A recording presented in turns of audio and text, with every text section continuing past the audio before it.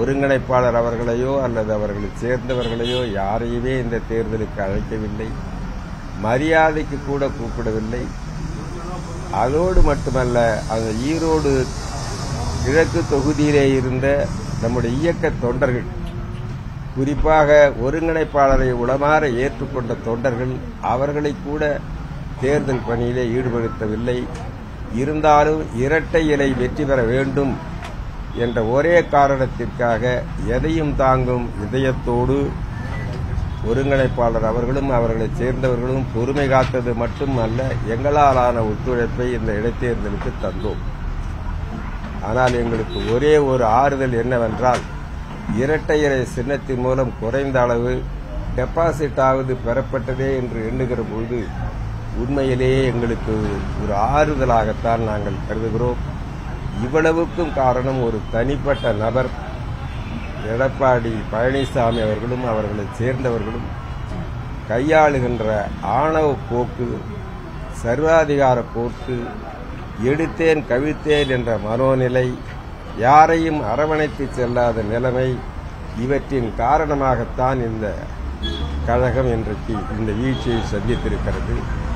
குறிப்பாக சொல்லப்போனால் என்றைய தினம் எடப்பாடி பழனிசாமி அவர்கள் முதலமைச்சராக பொறுப்பேற்று அவரை முன்னெடுத்து வைத்தார்களோ அன்று முதல் நடைபெற்ற தேர்தல்களிலே எல்லாம் எடப்பாடி பழனிசாமியை முன்னிறுத்தியதன் காரணமாக தொடர்ந்து தோல்விகள் தான் ஏற்பட்டன. ஆட்சியை இழந்தோம். சட்டமன்ற தேர்தல்கள் நாடாளுமன்ற தேர்தல்கள் உள்ளாட்சி மன்ற தேர்தல்கள் தோல்வி. இன்றைக்கு என்ன நிலைமை என்றால் கட்சியையும் இழந்து விடுவோமோ என்கின்ற நிலைமை ஏற்பட்டு இந்த நிலையிலும் கூட எங்களை பொறுத்தவரையிலே இன்றுள்ள சூழ்நிலையை கருதி இந்த இயக்கம் ஏழைகளுக்கான இயக்கம் எல்லோருக்கான இயக்கம் புரட்சித் தலைவர் எம்ஜிஆர் அவர்களாலே தோற்றுவிக்கப்பட்ட இயக்கம் புரட்சித் தலைவி அவர்களாலே வளர்க்கப்பட்ட இயக்கம் எதிர்காலத்தில் எல்லா தரப்பு ஏழை மக்களுக்கும் பாடுபடக்கூடிய ஒரு மாபெரும் இயக்கமாக இது மலர வேண்டுமையானால் எங்களை பொறுத்தவரையில் இன்றும் சொல்கிறோம் ஒன்றுபட்டால் உண்டு வாழ்வு ஒற்றுமை நீங்கிடில் அனைவருக்கும் தாழ்வு யார் ஒற்றுமைக்கு எதிராக இருக்கிறார்களோ அவர்களை கழக தொண்டர்கள் தூக்கி வீச வேண்டும் என்று நாங்கள் கேட்டுக்கொள்கின்றோம் தோல்வியால அதிமுக கட்சி பலம் இந்த தோல்வியால. அதிமுகவின் பலம் இழந்திருக்குதுன்னு நினைக்கிறீங்களா? நீங்க என்ன நினைக்கிறீங்க?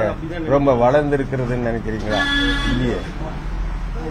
ஏங்க டெபாசிட் கிடைக்கும் காலையில இருந்து இந்த முடிவுகளை பார்த்து கொண்டிருந்த போது உண்மையிலே நான் மனவேதனையா இருந்தேன். ஏன்னா புரட்சித் தலைவர் எம்ஜிஆரோடு நான் சுற்றியவர். எங்க டெபாசிட் போயிடுமோன்னு நினைச்சிட்டு இருந்தேன் அது என்ன அவங்க ஸ்ட்ராங்கா இருக்கிற ஈரோடு தொகுதி. என்ன ஆச்சு? இந்த தொகுதி இடைத்தேர்தலை பொறுத்தவரையில் என்னுடைய கணிப்பு. நான் அரசியல் அனுபவத்தை சொல்கிறேன். கழக தொண்டர்களும் ஆதரவாளர்களும் தான் வாக்களித்திருக்கிறார்கள் பொதுமக்கள் வாக்களிக்கவில்லை. அதனால்தான் இந்த நிலைமை. இந்த இருங்க சொல்லிடுறேன். இந்த கழக தொண்டர்களும் ஆதரவாளர்களும் யார் நின்றிருந்தாலும் இந்த வாக்களித்து வாக்களித்திருப்பார்கள்.